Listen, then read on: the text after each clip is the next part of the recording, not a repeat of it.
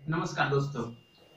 आज हम पढ़ेंगे थर्मल रनवे ट्रांजिस्टर के में जब अत्यधिक चालन होता है और कलेक्टर करंट में ज़्यादा तेज़ी से जब वृद्धि होने लगती है तो उस कंडीशन में, ट्रांजिस्टर में थर्मल रनवे की कंडीशन आ जाती है। इसके विषय में हम बचाव भी देखेंगे कि कैसे इससे बचा जाता है और थर्मल और थर्मल रनवे के कंडीशन में होता क्या है।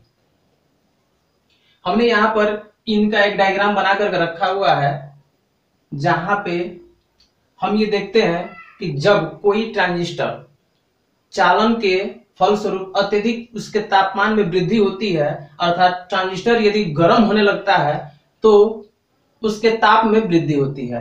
फ़र्स्ट स्टेज पे जब उसके ताप में वृद्धि होती है तो हम जानते हैं कि जो भी ट्रांजिस्टर की लीकेज करंट होती है, वो टेम्परेचर पे डिपेंड करती है। अतः टेम्परेचर के वृद्धि होने से तुरंत ही लीकेज करंट में वृद्धि होती है। और जैसे ही लीकेज करंट वृद्धि होती है तो ये हम जानते हैं कि लीकेज करंट में वृद्धि होती है तो जस्ट कलेक्टर करंट में वृद्धि होती है। अब जब कलेक्टर करंट में वृद्धि होती है तो कलेक्टर संधि पे पावर डिसिपेट होता है।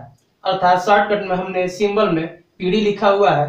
अर्थात कलेक्टर जंक्शन पर पावर शक्ति क्षय होती है। और जब पावर शक्ति क्षय होती, अर्थात पावर जब लॉस होता है तो उस जंक्शन पे टेम्परेचर का मान और भी अधिक बढ़ जाता है।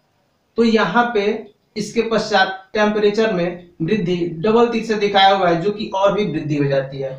यही प्रक्रिया, अभी हमने देखा था कि थोड़े से टेम्परेचर में वृद्धि होने पे ये लीकेज करंट में वृद्धि कलेक्टर करंट में वृद्धि, फिर पावर जंक्शन जो कलेक्टर जंक्शन है, वहाँ पर पावर में लॉस फिर टेम्परेचर में वृद्धि। अब ये बढ़ा हुआ टेम्परेचर इसी प्रकार ये निरंतर बढ़ता चला जाता है और एक स्थिति में ये आकर के थर्मल कंडीशन में पहुँच जाता है। अर्थात ट्रांजिस्टर हमारा जल करके नष्ट हो सकता है।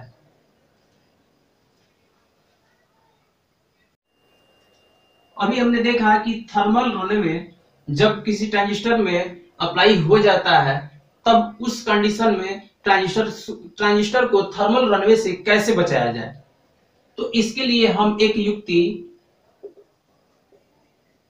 हीट सिंक का इस्तेमाल करते हैं। अब हम जानेंगे कि ये हीट सिंक क्या है। हीट सिंक जनरली एक मेटल कैप होता है, जो ट्रांजिस्टर को कवर रखने का काम करता है और ट्रांजिस्टर के हीट को कंडक्ट करके वायुमंडल के माध्यम से उसको ठंडा करने का काम करता रहता है। जैसे,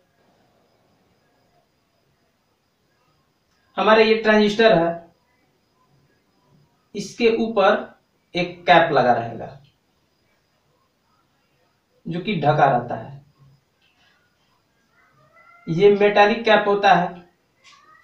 जब ये ट्रांजिस्टर हीट होगा तब उस कंडीशन में ये मेटल इसके हीट को ऑब्ज़र्व करके वायुमंडल से ठंडा होता रहता है। अब ये कई प्रकार की होती हैं। बहुत से टाइप के मैंने हो जाएँगे, जैसे कि आप लोग किसी चिप के चिप के ऊपर आप देखे होंगे एल्युमिनियम के साइड की ई टाइप की पत्तियाँ हो ये ई टाइप की पत्तियाँ होती हैं। जो चिप की हीट एनर्जी को सोख कर वायुमंडल में भेज देती हैं।